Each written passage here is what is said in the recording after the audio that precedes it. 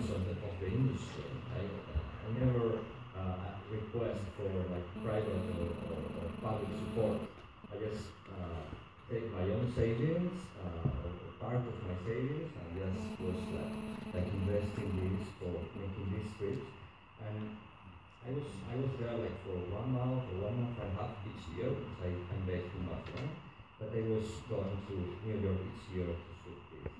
And uh, well, uh, it has been such an experience for me. Uh, I hope the, the film reflects in some way uh,